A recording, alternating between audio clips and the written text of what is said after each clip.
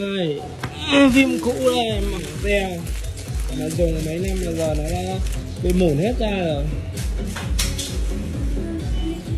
Thật chứ ờ, sử dụng xe ô tô mà cái phim của nó nó bị mủn hết ra nhìn nó cứ loang loang lổ lổ, nó rất là buồn cười. Và đi cũng rất là nóng. Thì anh em lại ờ, dán lại bộ ngon thôi phim bây giờ nó cũng ờ, giá cả nó cũng ờ, hợp lý lắm anh em ạ. Nó cũng không không không không đắt như ngày xưa đâu. Bây giờ có nhiều cái dòng phim giá nó rất là hợp lý. Đó. ba bốn củ khoai là anh em dán được gói phim gọi là tương đối rồi. Đấy, phim cũ này.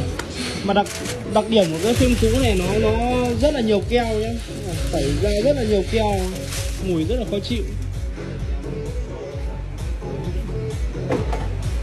Thợ làm mình nhạc nhẽo tung bừng.